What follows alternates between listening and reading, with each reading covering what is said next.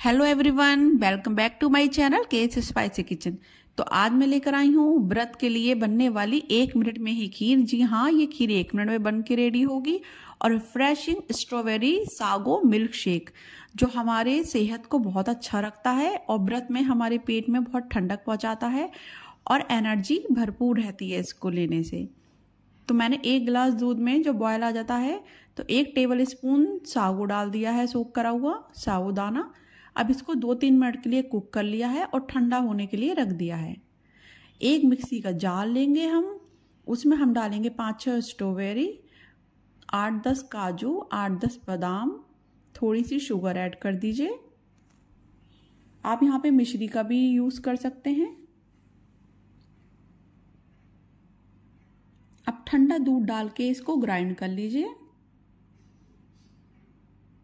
तो बहुत ही हेल्दी हमारा स्ट्रॉबेरी मिल्क शेक बन के रेडी होगा।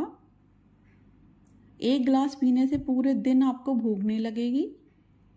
तो यहाँ पे देखिए, ये ठंडा हो गया है हमारा सागो खीर।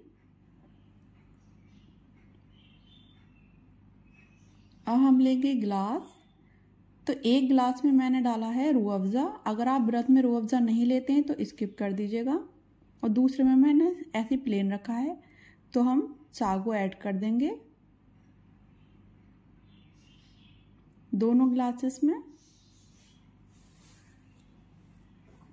अब हम इसमें डालेंगे थोड़े से आइस और स्ट्रॉबेरी अपना जो मिल्क शेक बनाया था, वो ऐड कर दीजिए। अब स्ट्रॉबेरी के कुछ पीसेस भी ऐड कर दिए हैं। तो दोनों गिलास में डाल दीजिए। आप और कोई फ्रूट भी डाल सकते हैं इसमें। तो ये गर्मियों में बहुत ही रिफ़्रेशिंग देता है हमें। और व्रत में भी अगर आप इसको लेते हैं तो बहुत ही ज़्यादा एनर्जी रहती है पूरे दिन। तो थोड़े से ड्राई फ्रूट डाल दिए हैं। अब देखिए रेडी हो गया है हमारा स्ट्रॉबेरी मिल्क शेक तो बहुत ही टेस्टी है ये। अब हम बनाएँगे एक मिनट में बनने वाली चोया की खीर। तो यहाँ एक दो गिलास जितना भी आप लेते हैं, जितनी क्वांटिटी खीर की रखते हैं, उतना दूध ले लीजिए।